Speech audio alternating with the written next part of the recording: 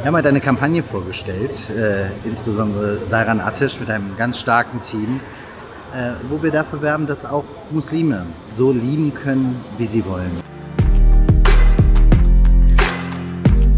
Ich glaube, dass das eine ganz, ganz wichtige Kampagne ist, die wir heute vorgestellt haben, weil Liebe kennt kein Geschlecht. Und gerade in einer so weltoffenen, toleranten, vielfältigen und bunten Metropole müssen wir darüber sprechen, dass jeder so leben und lieben kann, wie er fühlt.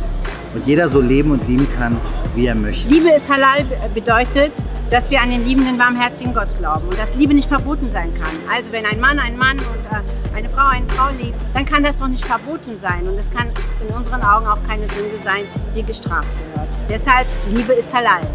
Diese Diskussion wollen wir jetzt führen und dabei unterstütze ich sehr, sehr gerne die Kampagne von Sarah Natisch.